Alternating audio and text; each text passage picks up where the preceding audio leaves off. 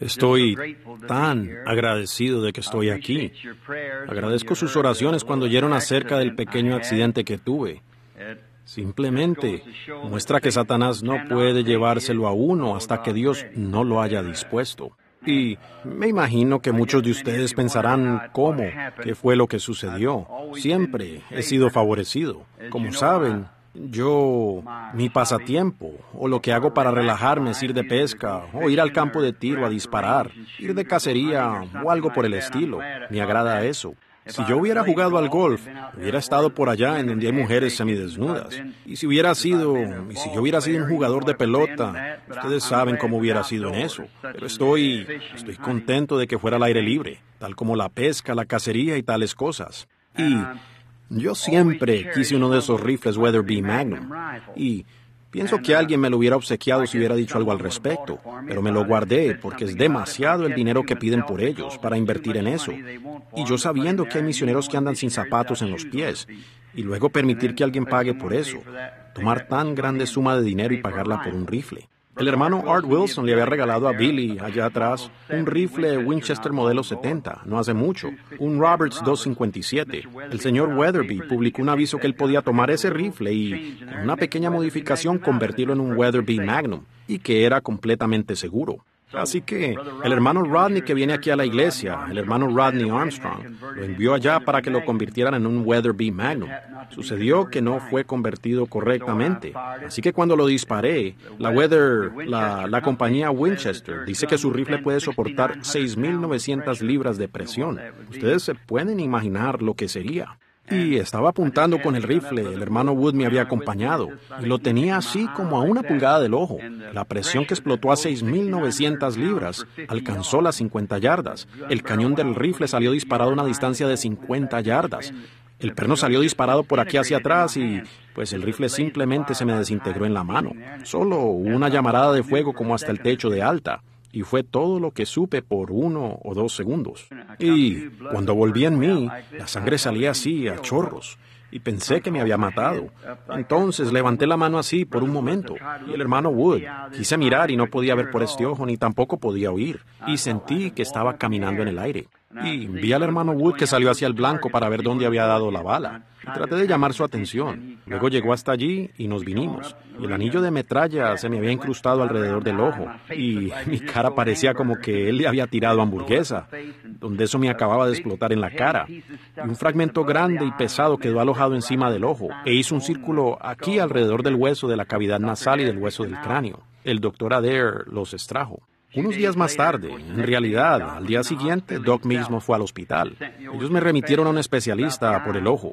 Él halló un anillo justamente debajo de la vista, de casi 30 pedazos de metralla que penetraron profundamente en el globo ocular, los cuales no pueden ser extraídos. Por muy poco le da la vista, y creó un anillo alrededor así. Él dijo, lo único que sé, él escribió una carta al doctor Adair, decía, el buen señor debe haber estado sentado en el banco con él para proteger a su siervo, o a él ni siquiera le hubiera quedado la cabeza. Lo único que el hermano Woods hubiera hallado hubiera sido de aquí para abajo, ¿ven? Por esa presión que estalló hacia atrás. Yo no sé cómo fue posible, pero ese perno tan grande y pesado de un rifle modelo 70 había salido disparado atrás muy lejos, si es que conocen el club de conservación, hasta atrás donde está el corral de los venados, y nunca llegamos a encontrar parte del rifle. Por tanto, eso solo enseña algo. Tendré un sermón sobre eso algún día, Dios mediante. En cuanto, no hay problema con una conversión, pero será mejor que se mantenga a bajo calibre. Si no está predestinado para la carga requerida, explotará cada vez. Es la verdad. Así que no intente. Más vale que sea el original. No mofa de algún... ¿Qué tal? ¿Ven eso? Oh, por supuesto, uno se puede imaginar que semejantes cosas serían contadas, pero hasta donde sé no, no afectó ni una sola cosa. Por supuesto, mis oídos, se podrán imaginar, todavía zumban con el sonido de rebote de este micrófono. Por eso no estuve aquí esta mañana. No habla y puede oír cómo el sonido retumba por allá y por acá, pero me llevaron a un especialista y él dijo, el tímpano ni siquiera está inflamado. Y en cuanto al ojo, dijo, tendrás la misma visión que siempre has tenido. Dijo, dijo, eso entró justamente debajo de la vista. Simplemente hizo un anillo alrededor del globo ocular donde encajó. Dijo, siempre tendrás la metralla. Yo le dije, la he tenido desde que tenía dos años, a causa de otro. El hermano Robertson allá atrás le hice una llamada y estaba contándole. Me dijo, no te preocupes por eso, dijo. Yo tengo en mi cuerpo como dos o tres libras, dijo él. Es un veterano de la guerra, así que no te dolerá. Yo tengo bastante de ella. Y recuerdo la visión de parte del Señor no hace mucho. ¿Recuerdan cuando la conté aquí? La dulzura del Señor aquella mañana dijo, no temas de a dónde has de ir, ni de nada, porque la presencia de Jesucristo que nunca falla está contigo a donde quiera que vayas. Así que Él no puede. Satanás no puede matarme hasta que Dios no diga que ha sido consumado. Ven, puede ser que Él lo intente, pero no tendrá éxito en eso. Entonces lo extraño era que yo iba de todas maneras, iba a mi reunión, pues podía ver bien por este ojo izquierdo, y yo iba a la reunión a pesar de todo. Y luego ellos, el hermano que estaba visitando la reserva indígena, tuvo que cancelar esa reunión o aplazarla hasta que yo regresara a la costa occidental y subiera por esa costa del occidente. Así que vamos a llevar la reunión allá. Y durante este tiempo estoy comprometido con el hermano Argenbright, y para cuando dicha reunión haya terminado deberé subir a Anchorage, Alaska razón por la cual estaba dependiendo tanto. Muchos de ustedes recuerdan la visión que tuve en la cual le había disparado al oso gris, un oso gris de nueve pies. Y la iglesia recuerda cuando lo conté aquí, y del caribú. Y tuve otra. Recuerden que eso está aquí grabado en la cinta. Yo vi un gran oso pardo. Si ese hubiera sido un oso Kodiak, no hubiera funcionado allá en el Canadá porque no están allá. ¿Ven ustedes? Pero donde quiera que sea, allí estará. Esto sucederá. Es así, dice el Señor así sucederá. ¿Ven? Y ahora les agradezco por haber orado por mí. Sabía que muchos de ustedes estarían orando cuando supieron que me había accidentado. Un pequeño grupo que apenas mi hija allá atrás, Rebeca, le escribió a la hermana Dow que viene aquí a la iglesia una carta y le relató lo sucedido. Y ella llamó a Meda unas noches después diciendo, no sé si haya ayudado, pero todos nosotros, el grupo de aquí, nos reunimos. El ministro metodista y, y el hermano Brown, pariente de ellos, y todos se reunieron y oraron toda la noche por mí. Dijo, no sé si Dios oyó o no, pero sabemos que el hermano Brown ha orado por tantos que pensamos en orar por él. Esa es la clase que él oye, ¿ven? Sí, señor, esa clase así. El hermano Crace, uno de nuestros hermanos aquí. Satanás lo atacó recientemente. Impactó una alcantarilla. Ojo, se cortó completamente su... No veo cómo pudo salir de eso con vida. Y pues él estaba atendido allá en el hospital y dijo que un hermanito había venido desde New Albany llamado Metcalf y le dijo, hermano Crace, yo no, no soy digno de venir a orar por usted, pero dijo, el Señor sencillamente colocó esto en mi corazón y no pude evitarlo. Así que vino y se arrodilló e hizo una corta oración y se fue. Dios sanó al hermano Crace allí mismo. ¿Ven? Siendo que lo ven. Es el don de sanidad en el cuerpo de Cristo. ¿Ven ustedes? De un miembro a otro. No piense usted que porque solo es un laico, siendo eso usted es tanto un miembro como lo es cualquier otro. Este es tanto mi dedo como este brazo es mi brazo, o que esta oreja es mi oreja. ¿Ven? Sencillamente es un miembro del cuerpo. Y todos, si un miembro sufre, todos los miembros sufren por eso. Es una unidad. ¡Qué bendita unidad! Ahora yo, luego, siguiendo eso, he programado más reuniones y he dejado un tiempito allí para una noche de nuevo con el tabernáculo, un Dios mediante. Y si es la voluntad de Dios, este próximo domingo en la mañana quiero hablar sobre el rastro del profeta y después en el tabernáculo. Mañana en la noche o el domingo en la noche estaré por acá en el tabernáculo del Evangelio con uno de nuestros hermanos, el hermano Ruddle. Quiero hablar sobre el tema dejando escapar la presión, si el Señor permite. Y entonces el martes siguiente tenemos que viajar para Wisconsin con la Convención Regional de los Hombres de Negocios del Evangelio Completo. Estaré allí durante tres noches. Será en... Billy, ¿cuál es el nombre de esa ciudad? Recibí Green Lake, Wisconsin. ¿Cuándo? El jueves, viernes y sábado, el 17, 18 y el 19, en Green Lake, Wisconsin, para la convención regional. Y luego el domingo, el 20, estaré en Chicago en el auditorio de la escuela secundaria, ese mismo auditorio en el que estuvimos la última vez. ¿Recuerdan cuál es el nombre? El auditorio Stephen Mather de la escuela secundaria, para el domingo en la tarde. Luego, El lunes estoy en... olvido el nombre del lugar, donde el Señor me mostró en esa ocasión la convención de la Asociación Ministerial de Chicago, cuando se reunieron conmigo para tratar los temas, ustedes saben, lo cual mencioné, y el Señor me lo había mostrado en ese lugar. Será una reunión de despedida para el hermano Joseph Bosé, quien debe llegar aquí mañana en avión para verme, y para una fiesta de despedida para él el lunes. Luego venimos directamente a casa, y entonces salimos. Será la fecha para viajar a Southern Pines, Carolina del Sur, o Carolina del Norte. Luego bajaremos a Columbus, en Carolina del Sur, y después hacia el Cow Palace, en la costa occidental. Y luego subiremos por la ciudad Grass, y por allá arriba Spokane, entrando al Canadá, y luego a Alaska. Así que manténganse en oración por nosotros. Realmente necesitamos sus oraciones. Y somos instruidos en la escritura que todas las cosas obran juntamente para el bien de aquellos que aman a Dios. Y yo creo después de esto, y al ver la lealtad del pueblo y demás, alguien dijo, ¿cómo pudo suceder eso? ¿Y por qué lo permitiría Dios? Hmm, quizás me hubiera matado en la carretera camino para allá o alguna u otra cosa. Él, él causó algo para evitarlo. Recuerden, las escrituras no pueden fallar. Todas las cosas obran para bien a favor de aquellos que aman a Dios. Y si conozco mi corazón, lo amo a Él. Yo lo amo con todo mi corazón. Y esto nos ha unido un poco más. Y al pensarlo ahora, cuando todos los que han oído lo sucedido no pueden comprender cómo aún tengo cabeza y hombros, ¿ven ustedes? Habiendo estado en semejante explosión y que así de cerca de mí, lo cual sería casi dos mil libras de explosión en la cara. Vean, es suficiente como para desintegrarlo a uno. ¿Ven? Sencillamente lo arrasaría. Si hizo estallar ese rifle tan pesado de acero y lanzó ese cañón a una distancia de 45 metros y y, la culata. Ustedes deberían ver el rifle. Sencillamente no parece un rifle. Solo recogieron pedazos. Y luego salir de eso sin un solo defecto. La gloria sea para el Dios vivo. Apenas lo suficiente para evitar que yo saliera para allá, hasta que no llegó noticia de Eddie que no debía ir en ese momento. Sublime gracia del Señor, que a mí, infeliz, salvó. Y esto nos lo da a saber para que agradezcamos que Dios está con nosotros. Dios está con nosotros y cuán agradecidos estamos. Ahora dije esta mañana que pensé en venir.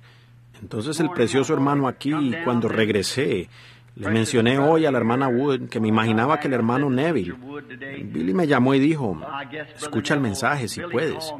Y creo que un pedacito de ese metal se había desprendido y lo tenía allí debajo del ojo. Y realmente me estaba haciendo pasar mucha molestia. Pero ya salió. Creo que las lágrimas lo sacaron. Y entonces dijo él, esta noche pensé en ir allá y este precioso hermano, probablemente predicando en tal condición.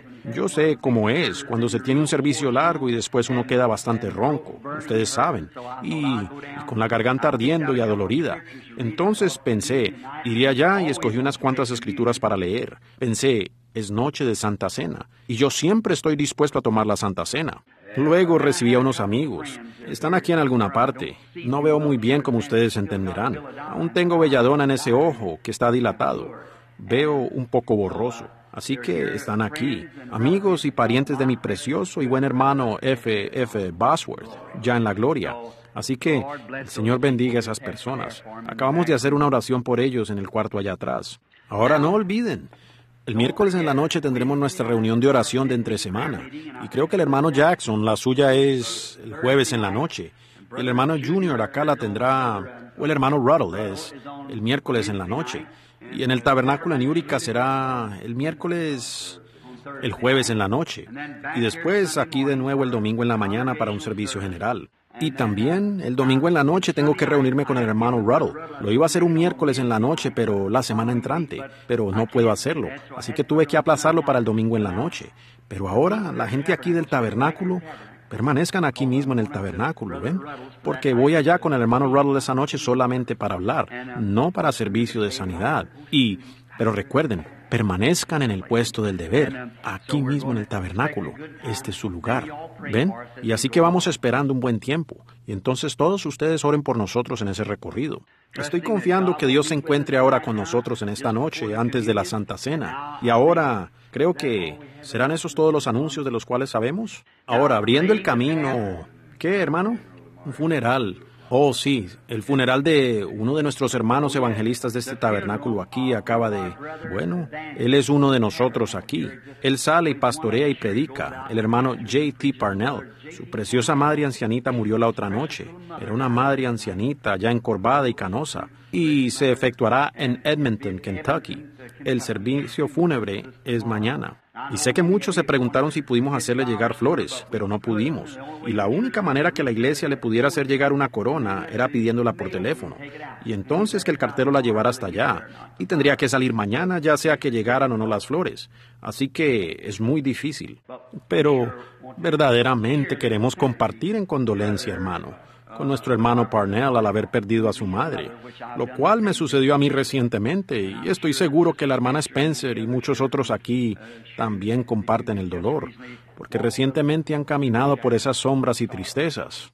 Ahora inclinemos los rostros por un momento en presencia de Él para orar. Ahora, quiero que oren por mí. Y es un poco difícil aquí esta noche tratar de ver.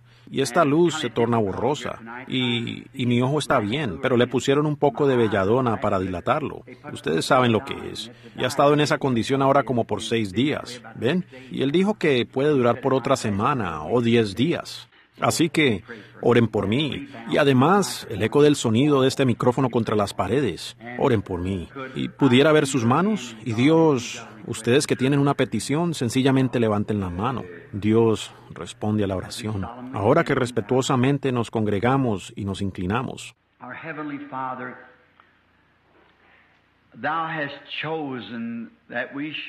Nuestro Padre Celestial, Tú has escogido que nos congreguemos. Es la voluntad de Dios que nos congreguemos juntos, viendo que ese día se acerca y que con frecuencia, Señor, nos acerquemos más a ti y más el uno al otro en lazos de compañerismo por medio de la sangre derramada de Jesús que lo hace posible. Estamos tan agradecidos en esta noche, Señor. Yo, yo, yo nunca he estado tan agradecido de, estar aquí, Señor. Yo, yo simplemente estoy muy agradecido contigo. Sencillamente no encuentro las palabras para expresar lo agradecido, porque aún tengo la vista y el oído, y porque estoy entre los vivientes aquí en la tierra para continuar el Evangelio. Nos hace apreciar tanto, Señor, cuando vemos lo cerca, que solo cuando hombres de gran intelecto se rascan la cabeza y dicen, ¿cómo pudo ser posible? Solamente es la mano de Dios. Entonces, inclino mi rostro en humildad, Señor, al ver que el milagro me fue concedido, que fue obrado donde se encontraba tu siervo. Estoy muy agradecido. Y ahora, Padre, vuelvo a dedicar mi vida de nuevo en servicio a ti, después de salir caminando allá. En la vida nunca estuve más cerca de la muerte que en ese momento, y luego sobrevivir. Por tanto, estoy agradecido. Y ahora Oro por todas estas personas que levantaron las manos en esta noche. Cada uno tenía una petición. Muchos de ellos tienen agradecimiento, casi todos, Señor, en sus corazones, por lo que tú has hecho también por ellos. Hemos venido ahora en esta noche para congregarnos en una ocasión muy especial, y es para tomar lo que llamamos la comunión o la cena del Señor. Comulgar es hablar con o conversar con, y eso es lo que estamos haciendo ahora, Señor, conversando con nuestro Señor, comulgando hablando, esperando en Él por su respuesta. Y ahora, Padre, oramos para que respondas, comulgando con nosotros en esta noche por medio de la palabra escrita. Y danos algo en nuestros corazones. Estabiliza nuestra, nuestra, nuestra jornada, Señor y danos nuevo ánimo. Y bendice a nuestro pastor, Señor, nuestro precioso hermano, tu siervo, y a su esposa y familia, y a los diáconos y síndicos, y a cada persona que viene a la iglesia. Oh Dios, acércanos más a ti, que sea como dijo el poeta, bendita sea la unión que enlaza nuestro corazón en amor cristiano. Nuestro compañerismo unánime es como el celestial. Concédelo, Señor. Bendice a todos los otros que adoran alrededor del mundo. Y ahora, Padre, parte el pan de vida para nosotros mientras esperamos en ti. En el nombre de Jesucristo, tu amado Hijo, lo pedimos. Amén.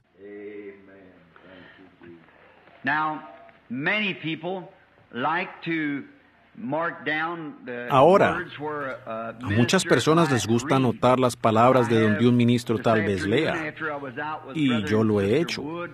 Esta tarde, después que estuve con nuestro hermano y hermana Wood, habíamos ido a ver a nuestro hermano Goble Robertson. Y allí vimos su sala de exhibición. Luego regresamos y pensé, la hermana Wood me estaba contando del mensaje tan maravilloso que nuestro pastor trajo esta mañana. Y comencé a pensar en este pobre hermanito. Quizás tiene la garganta irritada. Y yo estoy igual, pero me, puse a pensar tal vez en que nos repartiéramos esto, en caso de que él me pidiera que hable. Y tomé aquí algunos apuntes de lo cual me gustaría hablar. Primero vamos a Segunda de Corintios 6, 7 al 10. Primera de Corintios el capítulo 6, verso 7, incluyendo el 10. Y luego a Génesis 14, 18 al 19. Y tomar de allí el Señor mediante una con, un contexto del texto. Y ahora leeré de primera o de segunda de Corintios, primero. Segunda de Corintios 6, 7 al 10 by the word of truth, by the power of God, by the armor en palabra de verdad, en poder de Dios, con armas de justicia a diestra y a siniestra, por honra, por deshonra, y por mala fama y por buena fama, como engañadores, pero veraces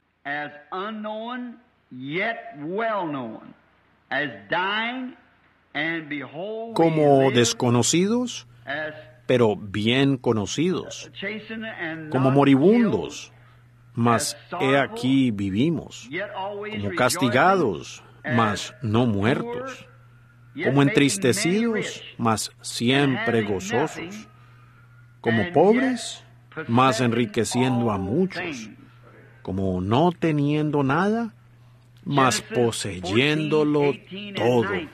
Génesis 14, 18 y 19. And Melchizedek, king of Salem, brought forth bread and wine. Entonces Melquisedec, rey de Salem y sacerdote del Altísimo, sacó pan y vino y bendijo a Abraham diciendo, bendito sea Abraham del Dios Altísimo, poseedor de los cielos y de la tierra. And if I would call it a text, I would like to speak on the subject, the possessing all things. Y si titulara el texto, me gustaría hablar sobre el tema el poseyendo todas las cosas, como aquí en Corintios que nosotros dice que somos somos pobres, pero lo poseemos todo, poseyendo todas las cosas. Ahora, me gusta esto. Ahora en Génesis leemos de Abraham encontrándose con este gran hombre llamado Melquisedec, quien era el poseedor del cielo y la tierra. Por consiguiente, él era el poseedor de todas las cosas, el poseedor del cielo y de la tierra. Eso viene a ser de todas las cosas.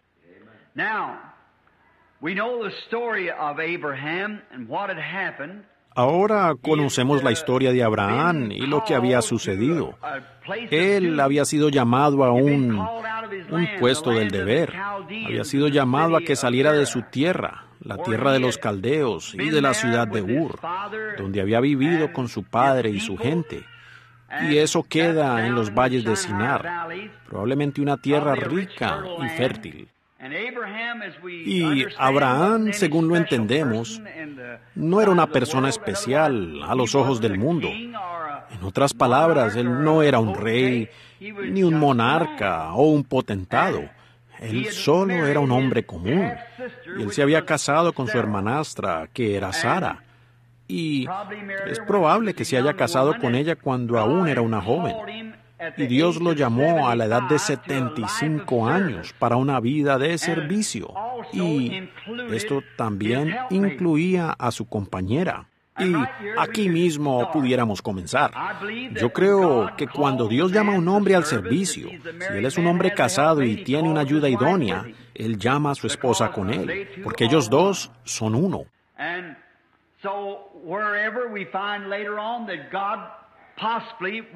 Y entonces hallamos más adelante que Dios posiblemente hubiera matado a Sara cuando dudó el mensaje del ángel 25 años más tarde, cuando estaban sentados bajo el encino aquel día, pero al reírse cuando el ángel le dijo a ella, o que le dijo a Abraham que ella iba a ser madre, y que Sara se rió dentro de sí, y dijo, ¿cómo pudiera yo, anciana? De 90 años y su esposo de 100 años. Él, su matriz se había secado hacía años y el cuerpo de él estaba casi como muerto. Entonces, ¿cómo volvería ella a sentir placer con su esposo? Y ella se rió dentro de sí. Y el ángel, con su espalda hacia la tienda, dijo, ¿por qué se ha reído Sara? Y ella lo negó. Ahora, eso fue decirle a Dios en su cara que él estaba equivocado. ¿Ven? Y eso le hubiera costado la vida. Pero Dios no podía llevarse a Sara porque ella era parte de Abraham. ¿Ven? Y ella estaba incluida en el pacto con él. Así que ella tenía que ir con él. Y por eso él no podía llevarse a Abraham o llevarse a Sara sin que se llevara parte de Abraham. Porque estos dos son uno. Un tipo muy hermoso hoy de nosotros, indignos, dignos de muerte, cuando pecamos. Pero Dios no nos puede matar porque Él, nosotros somos parte de Cristo. ¿Ven? Esto es la gracia para nosotros, por cuanto estamos en unión con Cristo. ¿No es ese un pensamiento hermoso? ¿En unión con Cristo? Por consiguiente, nuestros pecados, cuando los cometemos, debemos rápidamente confesarlos de que han sido lo incorrecto, porque Dios podría requerir nuestra vida, pero la sangre responde en lugar nuestro, y Dios simplemente no puede cruzar esa sangre. ¿Ven? Él simplemente no puede, porque es una promesa que Él no lo hará. Así que Él no puede quebrantar su propia promesa. ¿Ven? Así que Dios está en esas circunstancias comprometido. ¿Ven? Él no puede quebrantar su promesa. Y Él lo prometió a través de esa sangre, que todo aquel que creyere tenía vida eterna. Y Él no puede quebrantar esa promesa. Entonces hallamos que Abraham, en obediencia, dejó su hogar, dejó su tierra y se separó de todo, de toda su posición, posesiones, para viajar en una tierra extraña, peregrinando un tipo de la iglesia.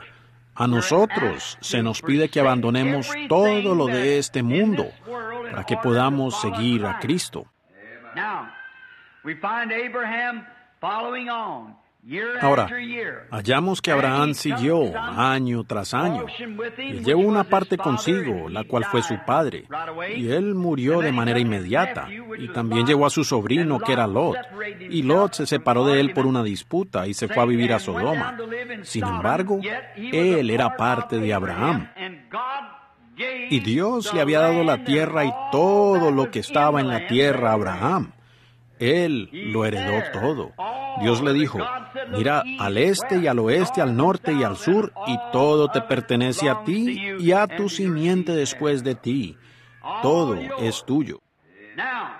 Ahora, un día Abraham estaba en dificultades y Lot pasándola bien, revolcándose en el pecado. Qué fácil es y cuán agradable parece ser el pecado y qué inocente parece ser. Ahora Lot diría esto, siempre y cuando yo crea, yo creo en Dios, entonces ¿por qué no puedo venir por acá a Sodoma sin, sin que haya problema? Pues soy un creyente, pero sí había problema.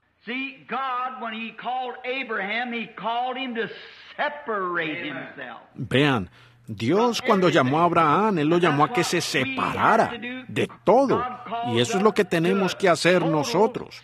Dios nos llama a nosotros a una separación total del pecado. Salid en medio de eso, no seáis partícipes de eso. Rechácenlo. La mera apariencia del mal. Separación. una aniquilación completa de Él. Mantengan su distancia de Él. No pisen sus terrenos, no importa cuán, cuánto eso, lo bonito que parezca. Ustedes, Tal vez piensen ahora, aquí está, hermano Branham, yo, yo a veces me siento tentado a robar, o a veces me siento tentado a fumar, o en ocasiones las mujeres piensan, me siento tentada a vestirme como la gente del mundo. Ustedes saben, con la ropa inmoral y todo eso. Me es tentación para las jovencitas. Ahora, ¿creen ustedes que eso es tentación? Pero, ¿qué de este lado acá, donde uno tiene que vigilar cada pequeño movimiento, ven? En un ministerio, ¿cuánto más difícil es de este lado? ¿Y por cuánto más se tiene que rendir cuentas? Pues usted tiene que responder por su propia alma, pero nosotros tenemos que rendir cuenta por cada persona a la que le hablamos. ¿Ven?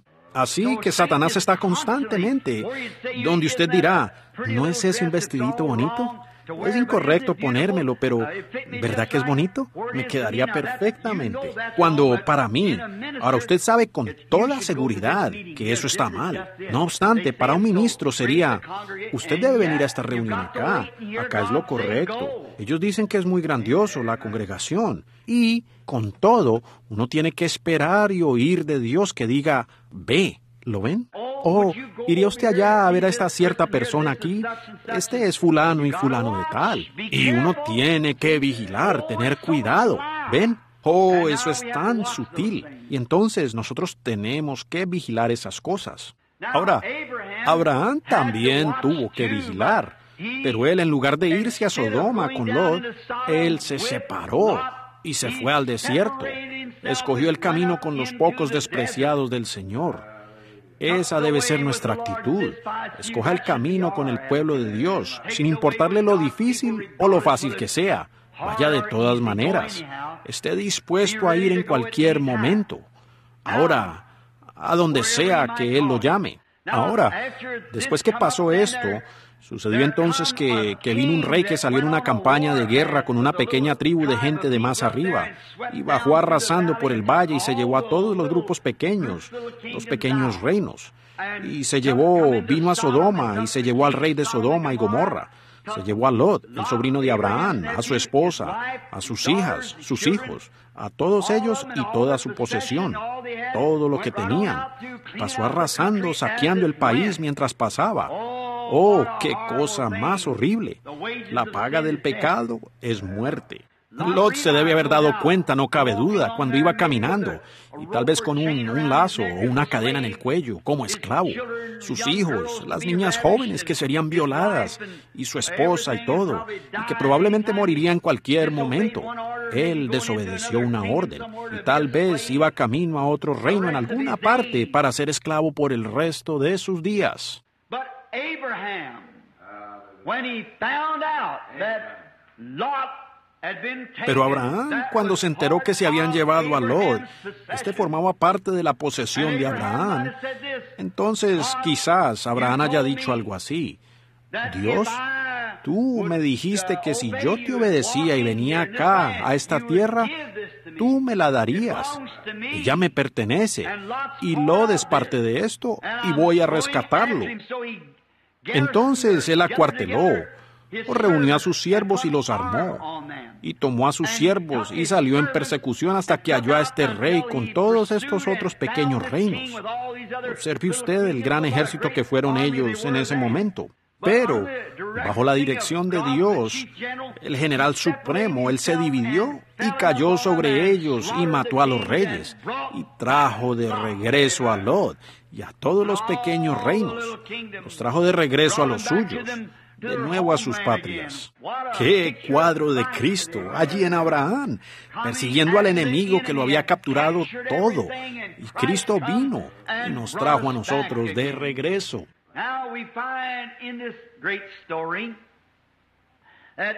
Ahora, hallamos en esta gran historia que Abraham, de regreso, volviendo después de que concluyó la victoria, se encontró con el poseedor de los cielos y la tierra, Melquisedec, que es el rey de Jerusalén, el rey de Salem, lo cual era Jerusalén, que es rey de paz, que es rey de justicia. Él no tenía padre, él no tenía madre, él no tuvo comienzo y él nunca tendrá fin. Así que ese era nada menos que el Todopoderoso. Y él se encontró con él en camino a casa, después de la matanza del rey. Él conoció al poseedor. Aquel quien poseía todas las cosas se encontró con él en el camino de regreso. ¡Qué cosa tan gloriosa! Abraham, I like this. Abraham was heir to all by the promise. Ahora Abraham, me gusta esto. Abraham era heredero de todo por la promesa. Así que él podía reclamar todo lo que estaba sobre la tierra y la tierra misma. A Abraham le había sido dada la promesa. Ahora, entendemos que Abraham era el hombre más pobre en toda la región, por cuanto vivía en el desierto y vivía en paz con Dios. Y Lot, rico, vivía en la ciudad y llegó a ser el gobernador de la ciudad. Él se sentaba a la puerta, era un juez y juzgaba la ciudad. Y tuvo todas las riquezas y las demás cosas. Pero Abraham estaba en el desierto y él probablemente era el hombre más pobre en la región. Y a pesar de todo, afirmaba que lo poseía todo. Amén. Eso sí que me gusta. Oh, esta noche tal vez no seamos ricos en bienes de este mundo, pero nosotros poseemos todas las cosas. La iglesia en sí posee todas las cosas, aunque pobre, pero es rica y posee todas las cosas. Eso me gusta. Él, eso somos, somos nosotros. Había un canto antiguo que cantábamos hace años. Mi padre es rico en casas y tierras. En su mano posee la riqueza del mundo. De rubíes y diamantes, y de plata y oro sus cofres están llenos. Él posee riquezas incalculables. Y nosotros somos poseedores de ella, porque somos hijos del rey. Amén. El hijo siempre es heredero. Sabemos esto. Muy bien. Abraham podía reclamar esto, a pesar que estaba pobre, con su ganado muriendo de hambre. Lot se había llevado el mejor terreno. El agua le era escasa. Los días eran calurosos y los pastores habían sufrido necesidad. Y parecía que en todo le había ido mal a Abraham. Sin embargo, él era dueño de todo. Y hoy, el verdadero creyente es despreciado entre la gente. Es llamado fanático, o santo rodador, o alguna clase de sobrenombre ofensivo, algún religioso fanático. Y, sin embargo, es heredero de todos los cielos y la tierra. Bienaventurados los mansos, ellos heredarán la tierra. Oh, hermano, hábleme de uno tener que vivir en alguna choza o en alguna otra parte, con apenas el suficiente dinero para pagar el alquiler. Sin embargo, uno lo posee todo. Amén. Hay que trabajar y luchar y sudar por unos cuantos dólares para ganarse, vivir honestamente, para ponerle zapatos a los pies de sus hijos y alimentar sus boquitas hambrientas. Y aún poseyendo herederos de todo lo que hay aquí, los mansos heredarán la tierra. Ellos la poseen. Oh, hermano, cómo me gusta. Poseedores de la tierra. ¿Quién lo es? El creyente. El creyente tiene un título, una escritura de propiedad abstracta. Es cierto, por Jesucristo en la que Él será el poseedor de este universo entero. Es cierto, los mansos heredarán la tierra. Abraham tenía, tenía, podía poseer esa tierra porque, y lo que había sobre ella, Dios se la había dado, y lo era parte de esa tierra. Así que Abraham tenía derecho sobre ella. Él podía, él podía reclamarla o tomar posesión de ella. Él dijo, pues Dios, tú me hiciste la promesa que esta tierra, lo que era y todo lo que estaba en ella era mío. Y tú me hiciste la promesa.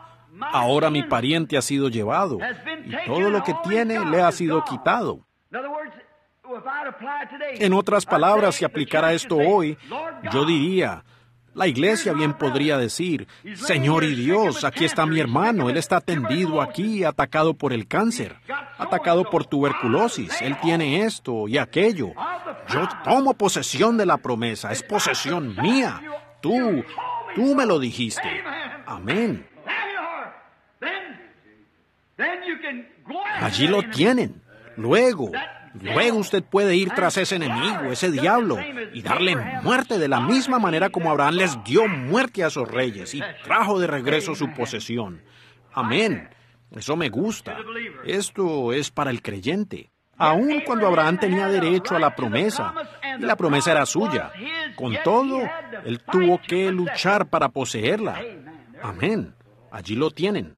El creyente hoy, aunque somos herederos de todas las cosas, aunque somos herederos de toda bendición espiritual, de toda bendición física, de toda bendición que la Biblia promete, sin embargo, usted tiene que pelear por cada pulgada. Así es como Dios lo tiene establecido. Siempre ha sido de esa manera. Usted tiene que luchar para poseer lo que usted sabe que es suyo. Usted tiene que luchar para poseerlo. Y esto es lo que nosotros tenemos que hacer ahora. Usted dice, hermano Branham, yo necesito sanidad. La promesa es suya, pero si usted la llega a alcanzar, no la alcanzará fácil. Eso sí se lo digo. Usted tendrá que quitársela a Satanás. Si Satanás le lleva cautiva su salud, usted tiene el derecho de ir a, a Satanás, decirle, devuélvela, entrégala. Yo vengo en el nombre del Señor, el poseedor de los cielos y de la tierra, y yo soy su heredero. Amén. Devuélvela. Tomaste mi hija la enredaste con el joven equivocado. Tomaste mi hijo y lo enredaste con la joven equivocada. Yo lo reclamo. Correcto. Yo reclamo a mis hijos, reclamo a mi hermano, reclamo a mi hermana. Sí, Satanás, los sacaste de la casa de Dios, los engañaste a que salieran allá, pero yo vengo ahora en busca de ellos. Yo los reclamo. Pues, ¿cómo lo sabe? Yo soy heredero de todas las cosas. Amén me han sido dadas, soy un heredero. Yo puedo reclamar todo lo que Dios me ha prometido. Amén, allí tienen. Eso es mío. ¿Cómo lo obtiene usted? ¿Por algo que ha hecho? No, Señor, pues es el regalo inmerecido que Dios nos ha dado y es nuestro. Nos pertenece a nosotros. Satanás no puede retenerlo. Si usted va contra él en la, la autoridad de la palabra escritural, con fe para decir, es mía, suéltala. Amén.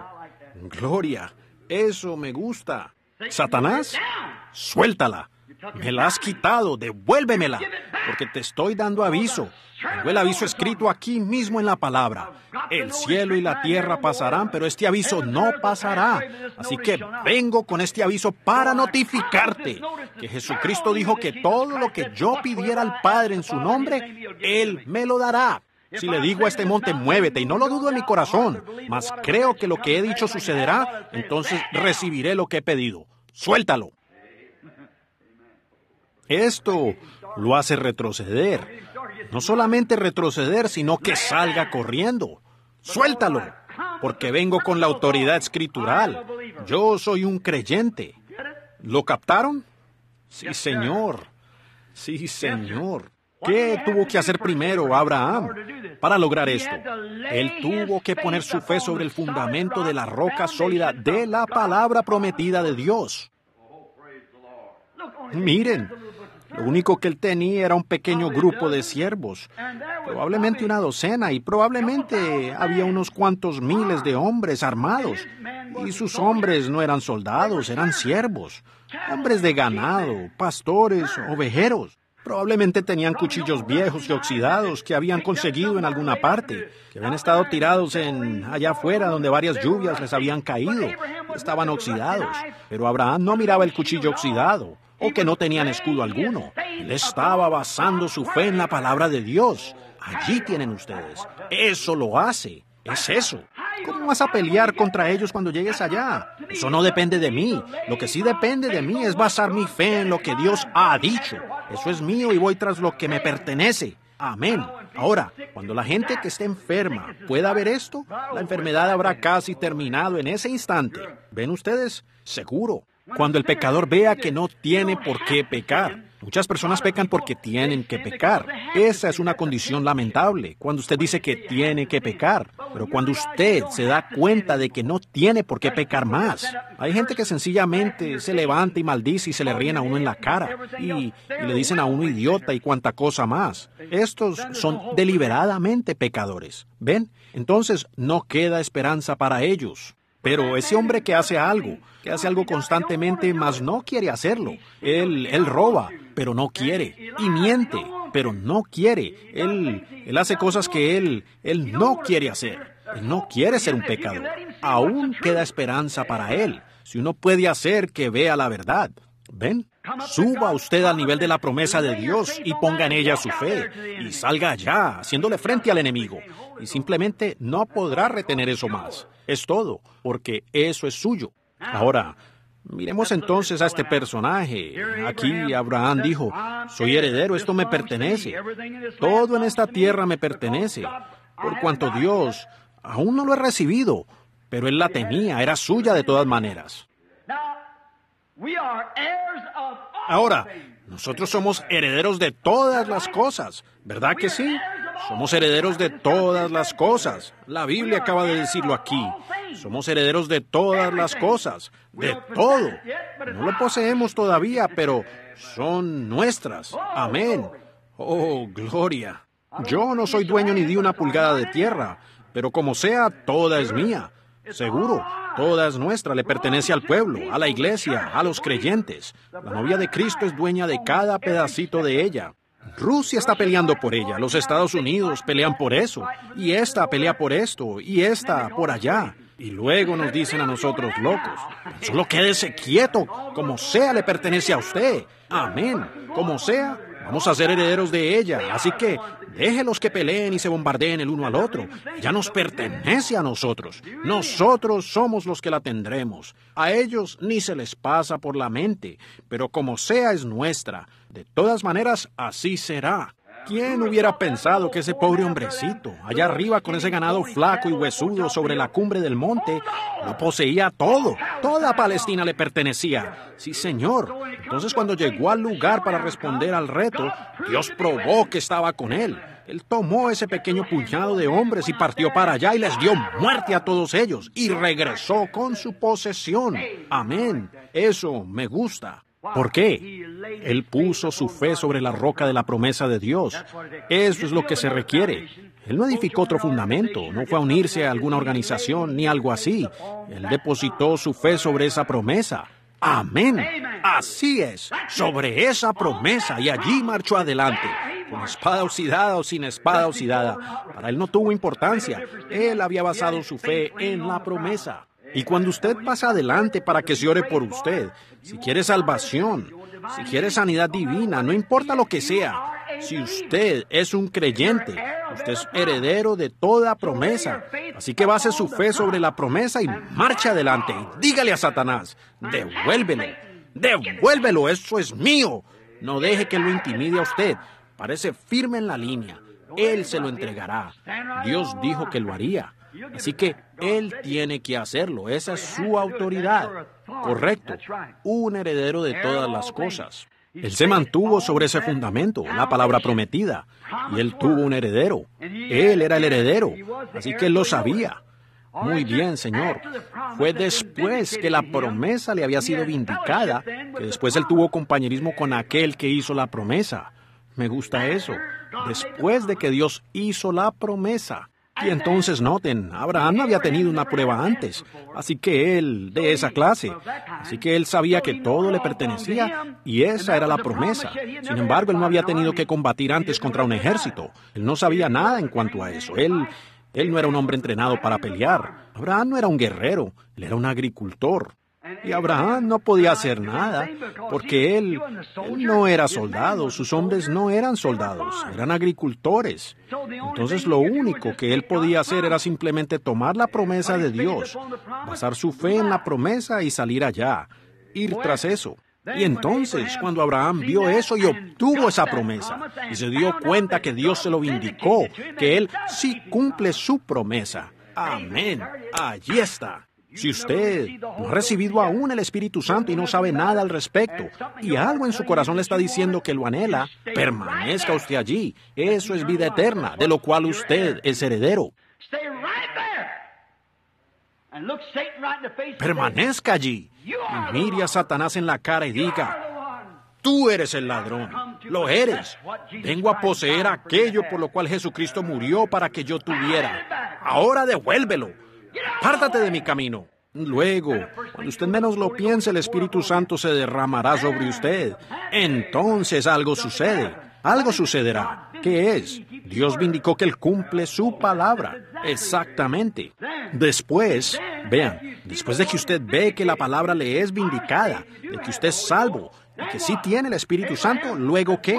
Abraham había obtenido la victoria y aquí venía de regreso marchando. Él había ido con su fe basada en la palabra que él podía traerlo de regreso, lo que había perdido. Y aquí venía con eso, en la marcha del vencedor. Eso mismo es lo que usted puede lograr. ¿Usted no tiene vida eterna? Pídala a Dios, confiese sus pecados, crea en el Hijo de Dios, acepte el bautismo del Espíritu Santo y diga, Dios, vengo por Él, estoy aquí para recibirlo. Entonces usted regresará con la marcha de la victoria ya obtenida. Amén. Estará brillando, vaya. Los pajaritos cantan diferente y toda persona. Usted luego estará enamorado de todos. Ese viejo odio, malicia y contienda ya no existirán. Usted los ama a todos. Oh, usted experimenta un tiempo maravilloso. Canta, grita, alaba a Dios. No le importa lo que alguien diga de usted. No importa. Seguro, está en la marcha de la victoria. Luego, ¿quién salió a recibirlo? ¿Quién salió a recibirlo? Melquisedec. Melquisedec salió a recibirlo después que la palabra le había sido vindicada. Melquisedec fue quien le dio la palabra. Luego él puso su palabra, su fe en la palabra, obtuvo la victoria y regresó. Y después tuvo compañerismo. Amén. Ahora, usted también la tendrá. Oh, su palabra se tornará en algo nuevo para usted una vez que usted haya recibido el bautismo del Espíritu Santo. Oh, hermano. Oh, dice usted, yo no puedo ver estas cosas. Yo no creo en gritar, yo no creo en hablar en lenguas, no creo en sanidad divina. Eso solo muestra que usted nunca ha obtenido la victoria. Es cierto. Pero una vez que usted consiga la victoria, entonces lo tendrá. Entonces usted lo posee. Sí, Señor. Entonces usted podrá gritar. Yo, ustedes vieron que en un tiempo yo dudaba de danzar en el espíritu, cuando veía a alguien que se levantaba y danzaba en el espíritu. Ahora he visto la burla que han hecho de eso, pero también he visto lo genuino. Entonces descubrí el por qué la gente podía danzar en el espíritu. Bueno, nunca he visto a uno salirse del lugar. Aún no he visto a uno que actúe en forma inmoral. Siempre lo, lo veo en mucha decencia y en orden y dulzura. Y aún a pecadores que corren al altar y son salvos mientras está aconteciendo. Pues siempre me pregunté qué propósito tenía. Y me di cuenta que es victoria. David danzó delante del Señor cuando el arca fue traída de nuevo a su lugar de reposo. Amén. Cuando David vio la palabra, como fue con las tablas de piedra siendo traída de regreso a su debido lugar, David se regocijó y danzó en el espíritu, dio vueltas y vueltas y vueltas. ¿Por qué? Él vio la palabra de nuevo en su lugar. Amén. Lo que la palabra necesita no es algo salido de algún seminario, alguna mezcolanza teológica, sino un predicador enviado de Dios, chapado a la antigua detrás del púlpito con la palabra, viendo a Dios que vindica eso, la evidencia. Entonces David dijo, Gloria a Dios, esto es, y dio vueltas y vueltas y vueltas y vueltas. Y su esposa infatuada, sentada allá en lo alto, siendo la hija de un rey, dijo, pues él, él, él me avergüenza. Y David dijo, ¿no te agradó eso? Pues mira esto. Y dio vueltas y vueltas de nuevo. Sí, oh, qué tiempo tan maravilloso tuvo él. ¿Saben? Dios miró desde el cielo, dijo, David, eres un hombre conforme a mi propio corazón. ¿Ven? ¿Ven? ¿Por qué? Él ya había perdido todo orgullo, había perdido todo eso. Sin embargo, él estaba casado con la hija de un rey, pero eso ni fue considerado en ese momento. Sabía que él conocía al poseedor de los cielos y de la tierra, y aquí estaba regresando la palabra de Dios entre ellos. Y David estuvo tan feliz que danzó. Él danzó tan duro como pudo.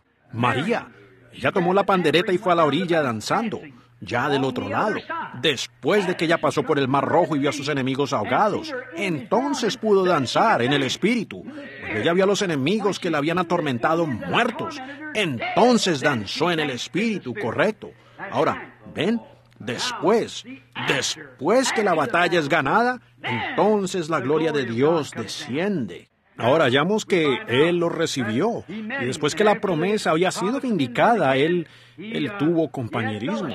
Melquisedec salió a bendecir a Abraham y él le dijo, bendito sea Abraham y bendito sea el Dios de Abraham, el poseedor de los cielos y de la tierra. Oh, vaya, cómo me gusta eso. La promesa para el creyente. Usted dice, ¿qué tiene que ver eso con nosotros? Es para todo creyente. La promesa para el creyente es vida eterna. La promesa para el creyente es vida, gozo, paz, tolerancia, benignidad, paciencia, frutos del Espíritu, sanidad divina. Casi una docena de cosas que tengo escritas aquí que son de su posesión. Esto le pertenece a usted, pero no podrá obtenerlo hasta que haya luchado por eso. Eso es suyo. Todo lo que se ve, todo bien temporal que se ve, me pertenece. Dios me lo dio por medio de Cristo. Él me lo dio. Y las cosas invisibles me pertenecen. Amén. Eso me gusta. Lo que usted puede ver como la sanidad divina y lo demás, eso es bueno, lo apreciamos. Pero lo que no se ve, Ahora la ciencia puede investigar por aquí y decir, bueno, veamos, permítame tomar a este hombre. ¿Usted dice que él fue sanado? Permítame llevarlo y examinarlo, déjeme ver qué fue lo que sucedió. Y señor, ¿usted dice que alguna vez tuvo un tumor? Sí, justo allí. Pues permítame hacerle un estudio científico para ver si fue que se le hundió y no que haya desaparecido. ¿Usted dice que una vez era ciego y que ahora ve? ¿Cómo puedo saberlo? Déjeme verlo y comprobarlo científicamente. Ahora ellos pueden investigarlo. Sin embargo, yo soy, también soy heredero de eso, de todo lo físico. Y también soy heredero de las cosas que no se pueden ver, donde la ciencia no puede investigar. Amén. Amén. Las cosas que no se ven. Amén. Soy heredero de ellas. Sí, Señor. Yo soy heredero de las cosas que se pueden ver. Soy heredero de esta tierra misma. Usted es un heredero. Cada creyente es heredero. Es heredero de ella. Muy bien. Y de lo que no se ve. ¿Poseedor de qué? De los cielos y de la tierra. Amén. De todas las cosas. ¿Lo creen ustedes? Usted dice, hermano Brannan, que de las cosas que uno no alcanza a ver, ¿cómo puede uno saberlo? De todas maneras son mías, correcto. El cielo me pertenece, me alegro porque es mío. Dios lo ha dicho, y eso es correcto. Bueno, usted nunca lo ha visto, ¿cómo sabe que está allí? Yo sé que de todas maneras está allí. Dios lo ha dicho. ¿Cómo sabe usted que es heredero de eso cuando nunca lo ha visto? Yo creo su palabra, amén. Ven, soy un heredero y usted es un heredero conmigo. Todos somos herederos juntamente por medio de Cristo Jesús. ¿Notó usted aquí, aquí en Corintios, en segunda de Corintios, que Pablo dijo, aún la muerte, que nosotros poseemos la muerte? Piense en eso. ¿Poseer la muerte? Sí, Señor, está sujeta a nosotros. Amén.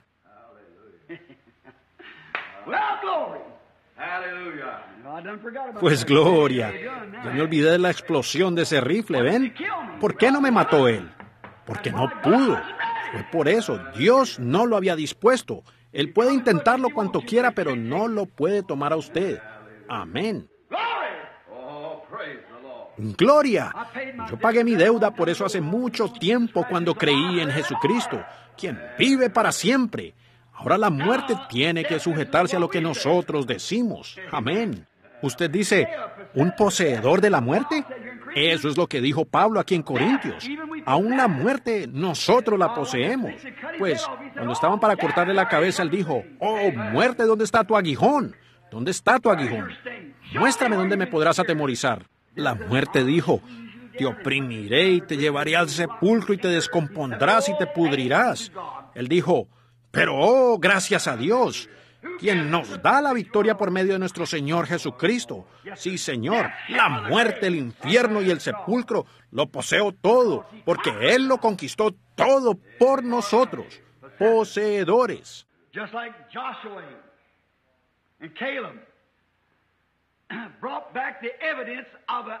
Tal como Josué y Caleb que regresaron con la evidencia de una tierra que no se veía, la cual había sido dada al pueblo por una promesa.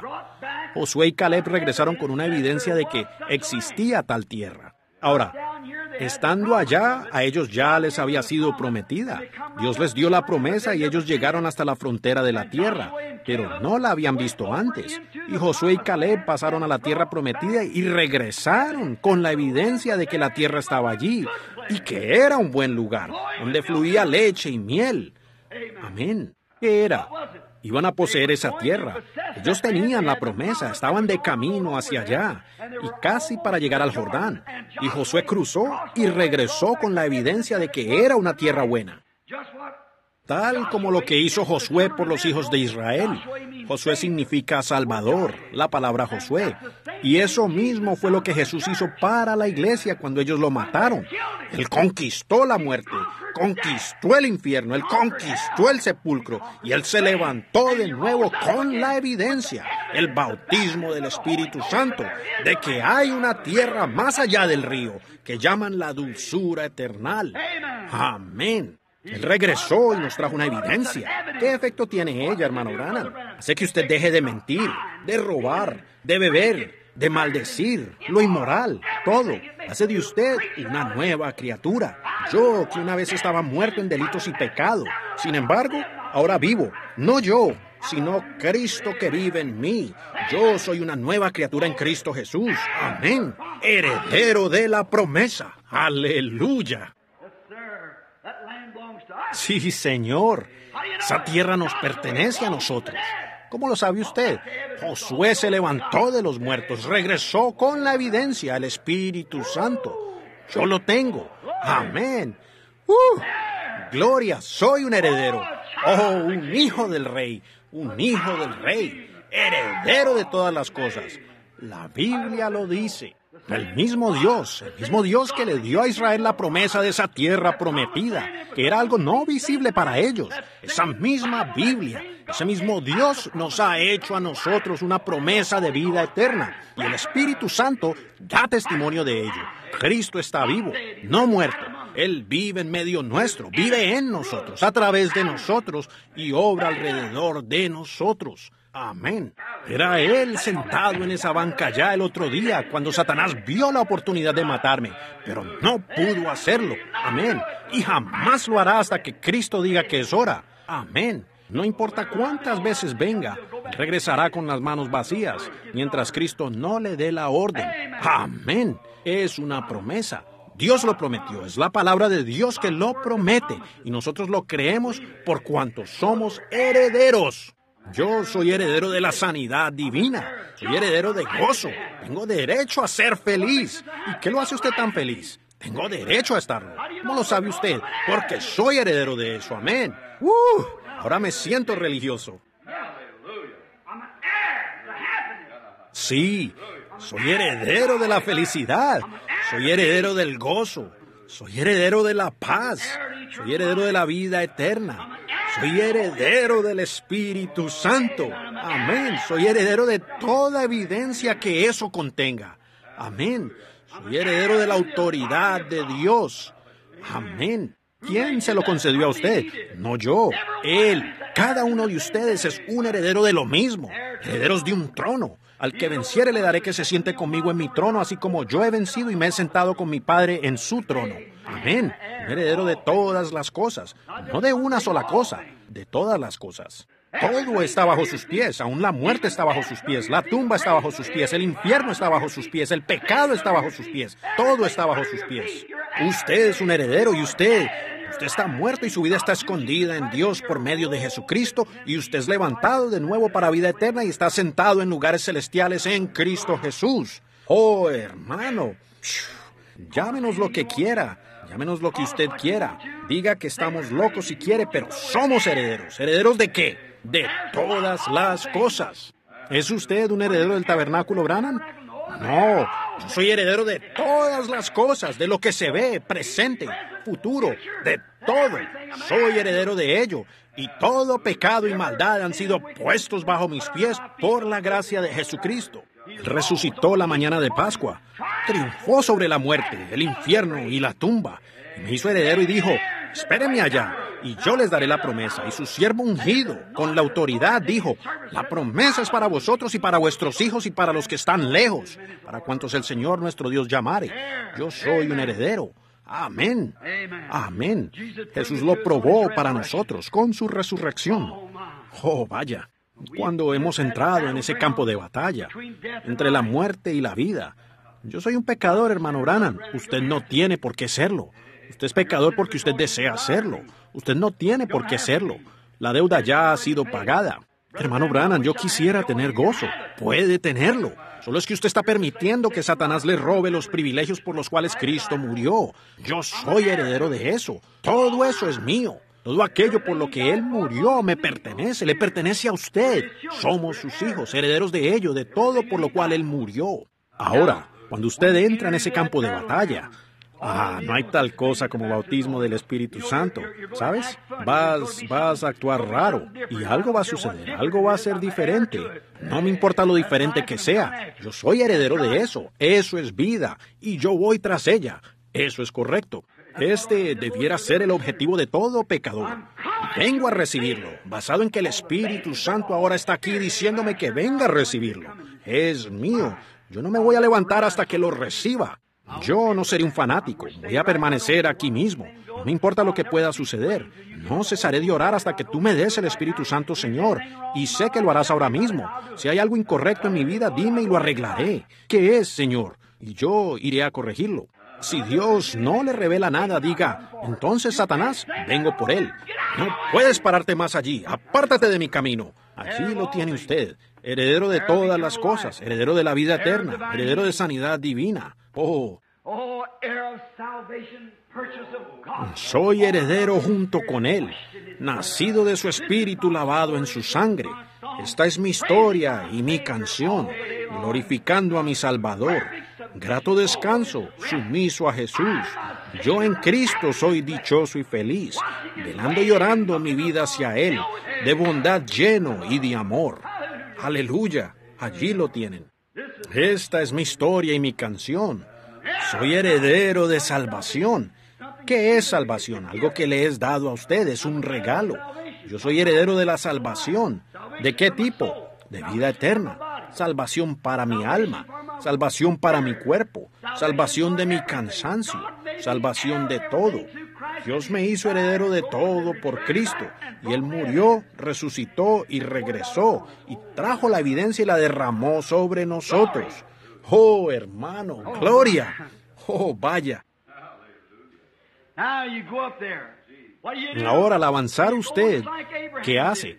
Cuando usted avanza tal como lo hizo Abraham, pase allá con esa promesa. Dios, tú me dijiste que es mía. Yo tengo fe en tu promesa. Estoy trayendo tu palabra. Tú prometiste esto. Tú dijiste, pedid y recibiréis. Buscad y hallaréis. Llamad y se os dará. Toquen y se os abrirá. Aquí estoy, Señor. Aquí estoy. Estoy tocando, buscando, pidiendo. Tengo que recibirlo. Allí está. Algo sucede entonces. Oh, cuando usted cita esa palabra. Miren lo que hizo Satanás cuando Jesús le citó la palabra. Y también escrito está. Él saltó lejos de ese cable, como dije la otra noche. Sí, Señor. Entonces, ¿qué pasa después que usted haya vencido? ¿Cómo se vence? ¿Podría usted lograrlo por su cuenta? No. Alguien fue adelante y venció por usted. Ese es Cristo. Yo simplemente soy un heredero de eso. No tengo que hacer nada. Soy un heredero de la promesa. Lo único que yo necesito es basar mi fe en su promesa. ¿Lo ven ustedes? Hermano Branham, ¿es usted digno de eso? No. ¿Piensa usted que yo sea digno? No. ¿Piensa usted que el obispo sea digno? No. ¿Habrá existido algún hombre digno? No. Entonces, ¿por qué? Usted es un heredero. Si usted fuera el borracho más tremendo del mundo y su padre le dejara un millón de dólares, ya que usted sea digno o no, es su, su, su herencia. Usted es el heredero de la herencia de su padre. Lo que le haya dejado es suyo. Sea usted digno o no, él se lo dejó a usted. Amén. Yo era un pecador, pero soy un heredero. Yo no servía y ni aún sirvo, pero con todo soy un heredero. Yo debería morir e ir al infierno, pero soy un heredero. ¿Soy heredero de qué? De la vida eterna. ¿Cómo sabe usted que la va a recibir? Pues lo pude sentir. El Espíritu Santo la trajo. Jesús resucitó de entre los muertos para que eso pudiera venir. Y ahora eso ha venido y da testimonio y vindica exactamente lo que dijo que haría. He pasado de muerte a vida. He llegado a ser una nueva criatura en Cristo Jesús. Entonces soy heredero, sí Señor. Ahora voy de camino, amén. Todas las cosas han muerto. ¿Y qué de todas esas cosas malas que yo hice? Es igual como hizo María. Mire allá atrás, allí están, muertas, sepultadas en el mar del olvido, en el gran libro de Dios, en el libro en el cielo. Ya ha sido hecho. Mi nombre ya ha sido puesto en ese libro y ha sido sellado y lanzado en el mar del olvido. Y hay un libro nuevo, con un nombre nuevo escrito allá en la gloria. Y es el mío, seguro. Ahora somos entonces herederos de todas las cosas. Entonces es como cuando Abraham, ¿qué le dijo Dios a él? Esta tierra te pertenece. Lo que hay en ella es tuyo. Mira hacia el este, al norte, al oeste y al sur. Todo es tuyo. Todo aquí. Yo quiero que vengas a peregrinar en una tierra extraña y te voy a hacer heredero de esa tierra. Te la daré a ti y a tu simiente después de ti, para siempre. Ahora Abraham, lo único que tenía que hacer era poner su fe en esa promesa, tomar su espada y comenzar. Cuando llegó el momento crítico, él llegó allá y Dios peleó la batalla de él. Y cuando él peleó la batalla, les dio muerte a los reyes. Y aquí venía el de regreso. Amén. Todo ya había terminado. Hermano, él podía gritar. Se podía oír a todos los jóvenes gritar y alabar al Señor. Aquí venía Abraham y ¿quién salió a recibirlo? Melquisedec, rey de Salem. Y miren lo que hicieron. Después que terminó la batalla, pudieron sentarse y tomar el pan y el vino. El rey sacó pan y vino. ¿Cuándo lo hizo con él? Después que terminó la batalla. Después de que lograron la victoria. Entonces pudieron sentarse y tomar la comunión juntos, hablar el uno con el otro y comer la Santa Cena juntos. Ojo, eso es lo que Dios quiere que sus hijos hagan en esta noche. Entonces, ¿qué de usted, hermano Branham? ¿Qué es esa iglesia a la que usted le está hablando? Nosotros somos la simiente de Abraham, ellos son la simiente real de Abraham. Somos la simiente de Abraham por la promesa. Por medio de Cristo Jesús llegamos a ser la simiente de Abraham y somos herederos con él según la promesa. Entonces si Abraham fue heredero, yo soy un heredero. Yo soy un heredero con Abraham y también lo es usted. ¿Y cómo llegó a suceder esto? Por la simiente real de Abraham, la cual fue Cristo Jesús, aquel que fue prometido por la fe. Abraham recibió un hijo como uno entre los muertos. Y nosotros recibimos al hijo que ni siquiera era un hijo porque no había la manera de llegar aquí. Y Dios le hizo y lo envió a nosotros. Y él vino y pagó la pena por nuestros pecados y por su muerte yo vengo a ser un heredero. Oh, vaya, allí lo tienen.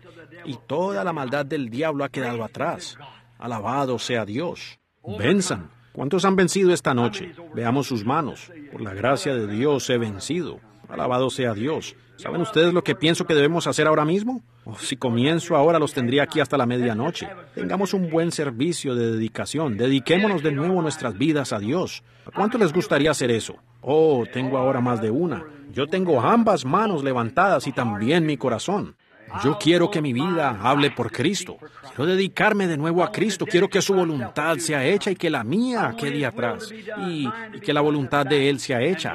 Yo quiero tener la marcha del vencedor. No porque sea yo, sino porque sé que el Evangelio que Él predicó está sufriendo hoy por causa de dogmas denominacionales hechos por hombres y todo lo demás. La gran victoria que debiéramos tener ha sido retenida por el enemigo.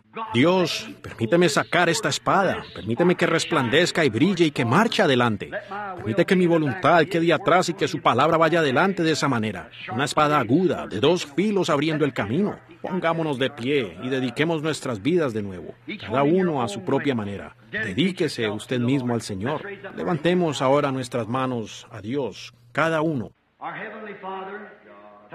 Nuestro Padre Celestial, en esta noche nos dedicamos a ti como mejor sabemos, sabiendo que somos herederos de todas las cosas.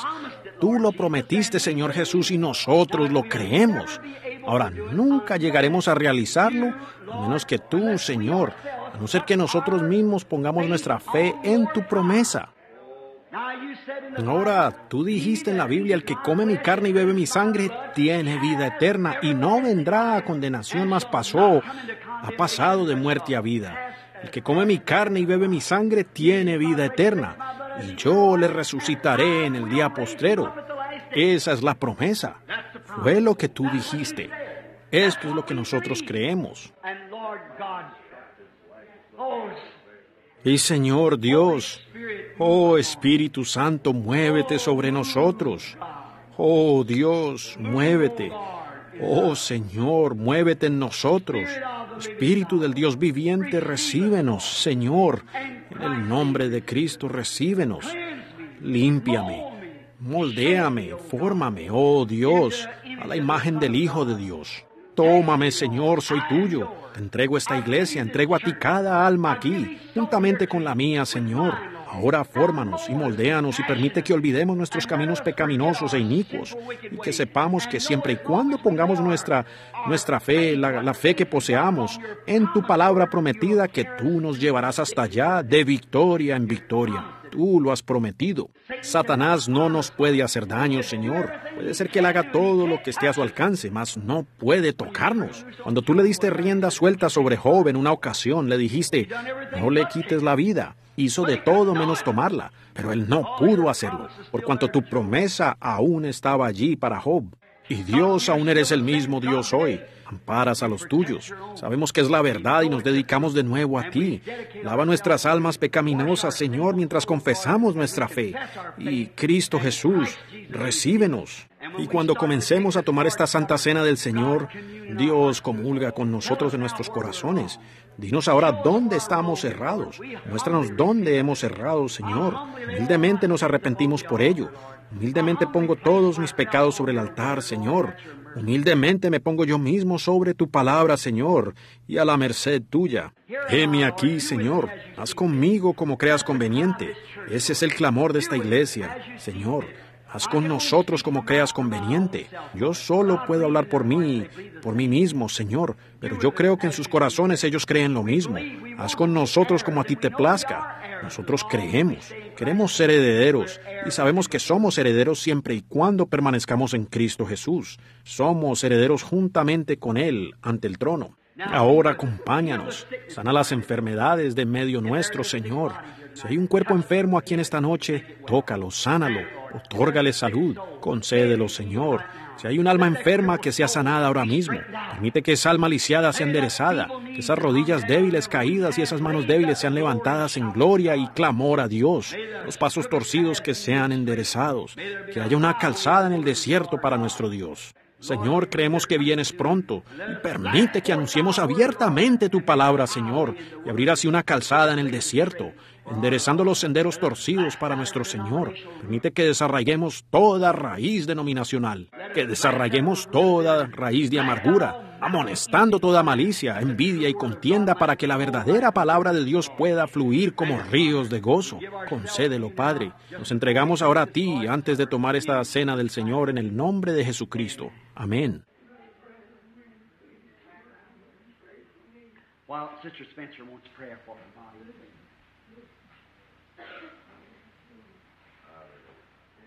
Mientras la hermana Spencer quiere oración por su cuerpo. Dios la bendiga, hermana Spencer. Padre Celestial, esta pobre santa anciana, y está sentada. Tú viste a una mujer lisiada. ¿Acaso no debe ser liberada esta hija de Abraham en el día sabático?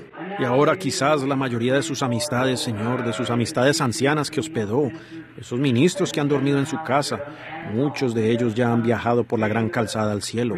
Ella ha quedado sola, Señor, con un testimonio, sin nadie ahora, solo sus hijos y tal vez una amistad aquí y otra allá, Señor, o alguno que otro pariente, pero ella ha quedado de pie, con un gran bosque que ha sido arrasado y un árbol ha quedado.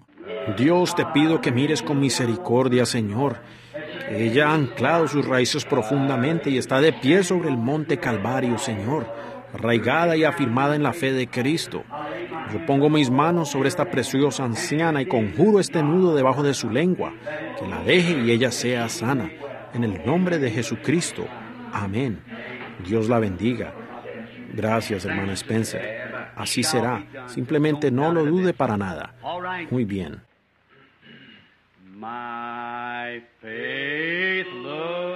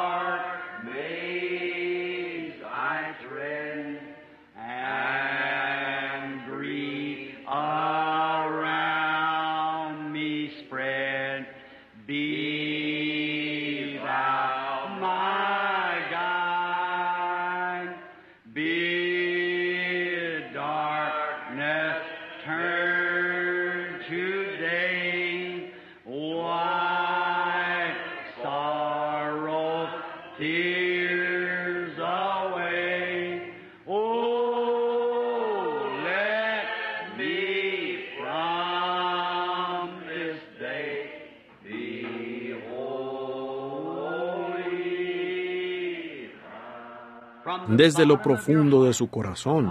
Ahora solo Dios lo conoce, desde lo profundo de su corazón. ¿Lo dice usted en sinceridad? Llene mi corazón tu santa luz. Cantemos esa última parte otra vez.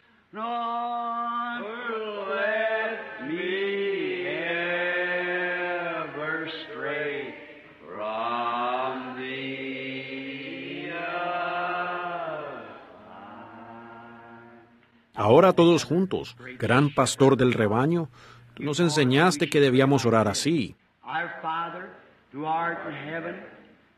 Padre nuestro que estás en los cielos, santificado sea tu nombre. Venga tu reino. Sea hecha tu voluntad como en el cielo, así también en la tierra. El pan nuestro de cada día, dánoslo hoy.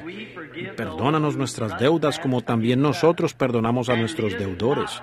Y no nos metas en tentación, mas líbranos del mal, porque tuyo es el reino y el poder y la gloria por todos los siglos. Amén. Pueden tomar asiento.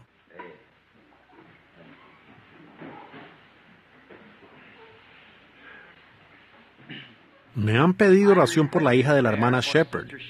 Me viene a la mente que ellos llamaron hace poco pidiendo la oración por la niña, y yo oré por eso. Tuve una entrevista para que nos reuniéramos aquí mismo y no pude pasar por la casa. Y dijeron que la niña estaba enferma y con fiebre y colocándose tiesa, lo cual sin duda es un virus que anda por aquí.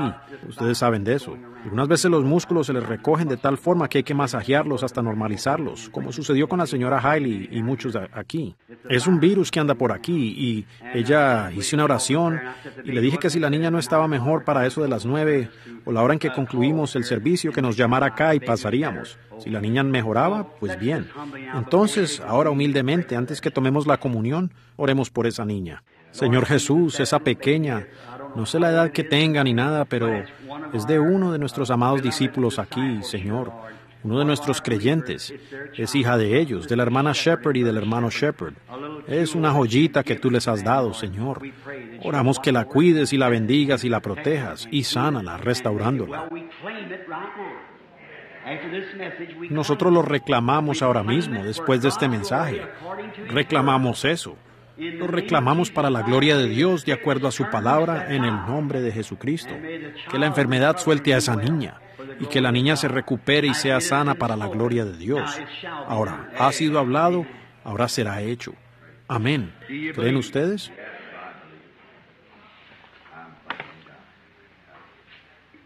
If we trust and never doubt, He will surely bring you out. Take your burden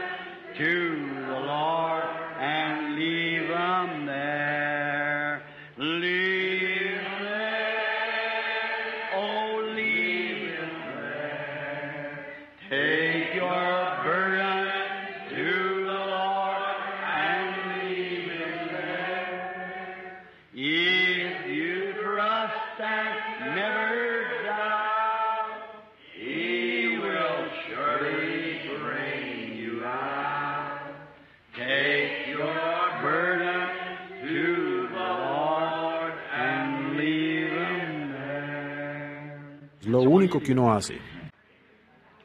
If your body's racked with pain and your health you can't regain, just remember God in heaven answers prayer. Now, Jesus knows the pain you feel. He can say that He can heal. Take your burden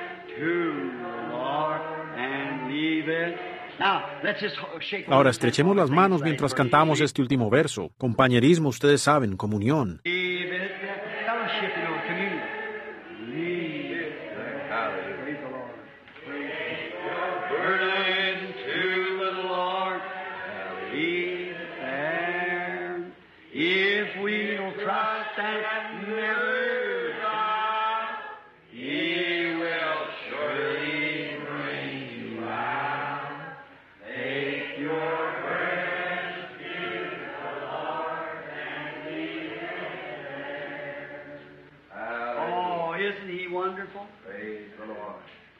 Oh, ¿verdad que Él es maravilloso? Entonces, ahora con nuestra confesión, nuestra creencia, la confesión de nuestros pecados, creemos que todos nuestros pecados están en el mar del olvido. Aquel que confiesa sus pecados, Dios es justo para omitírselos. ¿Ven? Están en el, en el mar de la sangre de Jesucristo para nunca más ser recordados. ¿Cuántas de ustedes, las damas, saben lo que es el cloro? Todas. Ahora tomemos una tina grande llena de clorox, que sea toda cloro. Una tina grande llena de clorox. Y luego tomen un pequeño gotero y tomen una gota de tinta negra en ese gotero. Esos vendrían a ser sus pecados. Párense directamente sobre la bañera y aprieten. Luego busquen en la tina y encuéntrenla. What become of it? ¿Qué le sucedió? ¿Qué sucedió con la tinta? Cuando cayó en ese cloro, era tan poderoso que le quitó inmediatamente todo el color y nunca jamás podrá volver. ¿Qué ha sucedido? Se ha ido, se ha perdido eternamente. ¿Cómo sucedió? La, la tinta misma se convirtió en cloros. Esa es la sangre de Jesucristo para con todo pecado confesado. ¿Qué hace? Es olvidado, ha terminado, es consumado, es omitido, ha sido divorciado, ha sido retirado. Eso jamás podrá ser recordado en contra suya. Alguien está llamando mi nombre en alguna parte. Pues gloria al Señor. Aún vive. Agradézcale al Señor. Y agradecemos al Señor. Oh Dios, cómo te alabamos por tu bondad. Sí, tocando esa humilde alma allá atrás. El Señor la tocó. Muy bien. Él es el sumo sacerdote que puede ser tocado por nuestras flaquezas. Recuerden, cada palabra es un ancla firme y segura. No hay... ¿Ven? Simplemente ponga su fe plenamente sobre ella y no se mueva. Simplemente permanezca allí. Ahora usted no puede ponerla allí y después levantarla de nuevo y decir, lo intentaré más tarde. Póngala allí. Permanezca con ella. Sí, Señor. Tal como lo hizo Abel. Muera sus propios pensamientos. Simplemente diga, Dios es tu palabra. No es lo que yo pueda pensar. Es tu palabra. Allí está. Y Abel murió sobre la roca. Y así Él le tocará tal como lo hizo con esta hermana allí. Así de sencillo. Tratamos de hacerlo, no nosotros. Es Satanás que trata de complicarlo tanto, usted sabe, diciendo, oh, ¿sabe usted que eso fue para otro día ya pasado? Y todo eso así. Esos simplemente son incrédulos. Pero para ustedes que creen, Él es precioso. Ahora, verdaderamente, que es rechazado. No obstante, Él es una piedra preciosa, viniendo a una piedra viva, una piedra preciosa, la principal piedra del ángulo. Oh, hermano. Oh, aquel que toca esta piedra es sanado. Eso es todo. Amén. Ahora, ¿verdad que estamos agradecidos con el Señor? Muy contentos, estoy muy contento que el Señor es Dios. Amén, muy contento que Él es un Padre tierno, lleno de misericordia, que honra su palabra, cumpliendo su pacto, nunca olvidándolo. Él cumple su pacto. Tiene que hacerlo, es Dios. Él lo hizo. Él es la fuente de toda verdad. ¿Ven? No puede haber otra cosa aparte de la verdad no adulterada en todo momento. Toda palabra que Él habla es infalible. Y esta es su palabra. Y oh Dios, que mi fe en ella sea infalible. Amén. Entonces mi fe llegará a ser infalible tal como la palabra es infalible. Entonces la palabra en esa clase de fe producirá cualquier cosa que la palabra dice que hará. Amén. Entonces, límpiame, Señor. Pruébame. Límpiame, sáname, protégeme, bendíceme y dame de tus misericordias, es mi oración a Dios. Amén. Ahora voy a leer una porción de la palabra en Primera de Corintios, el capítulo 11, verso 23. Porque yo recibí del Señor lo que también os he enseñado, que el Señor Jesús la noche que fue entregado tomó pan, y habiendo dado gracias lo partió y dijo, tomad, comed, esto es mi cuerpo que por vosotros es partido. Haced esto en memoria de mí. Asimismo tomó también Asimismo tomó también la copa después de haber cenado, diciendo, Esta copa es el nuevo pacto en mi sangre. Está entre vosotros todas las veces que bebiereis en memoria de mí. Así pues, todas las veces que comiereis este pan y bebiereis esta copa, la muerte del Señor anunciáis hasta que Él venga. De manera que cualquiera que comiera este pan o bebiera esta copa del Señor indignamente será culpado de la sangre, del cuerpo y de la sangre del Señor. Por tanto, pruébese cada uno a sí mismo y coma así del pan y beba de la copa, porque el que come y bebe indignamente sin discernir el cuerpo del Señor, juicio come y bebe para sí, por lo cual hay muchos enfermos y debilitados entre vosotros, muchos duermen.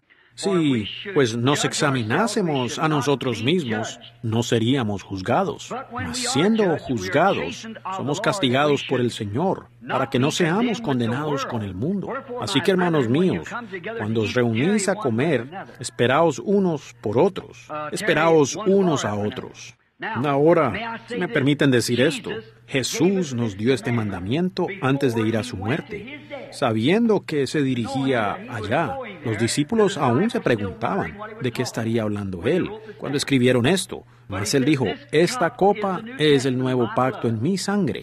Esto haced todas las veces que lo comiereis y lo bebiereis. Vosotros anunciáis mi muerte hasta que yo venga. Oh, esas palabras preciosas. No hay duda que los discípulos se preguntaron, ¿qué querrá decir él? Anunciáis su muerte. ¿Cómo podemos hacer esto? Esto era todo un misterio para ellos, pero no para él. Él era Dios. Él sabía lo que debía hacer. Anunciar. Así que él dijo, cuando se junten para comer. Ahora el que come y bebe indignamente, que pasa aquí y profesa ser cristiano, tomando el cuerpo del Señor, y luego sale a vivir con el mundo y, niega a Cristo y su poder y cosas semejantes, usted, usted le causa una gran deshonra a Dios. Usted, usted deshonra a Cristo. Así que no la tome. Pero si usted se está esforzando con todo lo que hay en usted por vivir correctamente y mostrar que usted es un cristiano, de que usted ama a Jesucristo, entonces es su deber tomarla. Y ahora en, creo que es en San Juan el capítulo 6, Jesús dijo, el que come mi carne y bebe mi sangre tiene vida eterna, y yo le resucitaré en el día postrero. Ahora, esa promesa, ¿verdad que es una cosa gloriosa? Yo lo levantaré. ¿Ha pensado usted para qué está aquí? ¿Para qué? ¿Para qué van a la escuela ustedes los niños? ¿Con qué fin trabaja usted, papá? ¿Por qué se levanta y usted madre en la mañana y prepara a los niños para la escuela, les lava el rostro y tiende las camas y cocina y, y hacerlo todo? Llegar cansado esa noche y al día siguiente comenzarlo todo de nuevo. ¿Para qué lo hace usted? ¿Por qué trabaja y se esclaviza, papá, y todo? Llega en la noche y cansado y uno de los niños se enferma y usted se pasea nerviosamente y clama y ora y lucha y ellos se recuperan y luego usted retorna a hacer lo mismo y cada domingo les lava el rostro y los lleva a la iglesia y pues ¿qué propósito tendrá todo esto? ¿Para qué estará aquí? ¿Será esto acaso todo? Vaya, qué miseria sería eso y sabiendo uno que tendrá que morir de todas maneras. ¿Ven? ¿Qué propósito tendrá todo esto? Oh, hermano, es un tiempo de examen. Es un tiempo de oportunidad. Es la oportunidad para aceptar esto. Dígame usted de algo que pueda ocupar ese lugar. Dígame de algo mejor. Muéstreme cualquier cosa del mundo, ya sea usted el rey de la tierra, que gobierne el universo, que sea un Khrushchev o un Kennedy o lo que usted desee ser. Igualmente usted tendrá que morir. Es verdad. Usted no sabe la hora en que vendrá. En cualquier minuto. Pero aquí, cuando la muerte venga, usted tendrá vida eterna y no podrá morir. Con la garantía dada por el Dios de toda la creación, quien es el poseedor de los cielos y de la tierra, que yo lo levantaré de nuevo en el día postrero. Ayuda tú mi incredulidad, oh Dios. Llena mi alma, oh Dios, límpiame. Lléname, comisióname, envíame. No permitas que yo muera. Permíteme vivir para contar la historia. Permíteme ir a cada esquina y rincón de la tierra y predicar la palabra y sembrar la semilla. Sí, Señor, para que haya una cosecha en el día postrero de la verdadera palabra, no adulterada, de creyentes en Cristo. ¿Están sus pecados bajo la sangre en esta noche por fe en Cristo Jesús? Tomaremos ahora la comunión, no la comunión. Ustedes comulgan el uno con el otro mientras comen. Más bien, solamente comulguen con Dios. La comunión no es el pan, no es el vino. La comunión es dialogar de aquí para allá y de allá para acá con Dios. Y esto que tomamos es un símbolo de que creemos en su muerte, su cuerpo herido, su sepultura y su resurrección. Nosotros creemos en la presencia del Espíritu Santo. Y creemos que Él nos ha dado vida eterna y que no podemos morir. Hemos pasado de muerte a vida. Y algún día cuando nos separemos aquí el uno del otro, nos levantaremos juntamente en la resurrección, unidos con Cristo Jesús, como un solo cuerpo. Amén. Sobre estas bases y la confesión de mis pecados y mi fe en el Hijo de Dios, lo tomo yo mismo juntamente con la iglesia, estando delante de estos elementos que Dios ha dejado para que nosotros cumplamos para que anunciemos su muerte hasta que Él venga.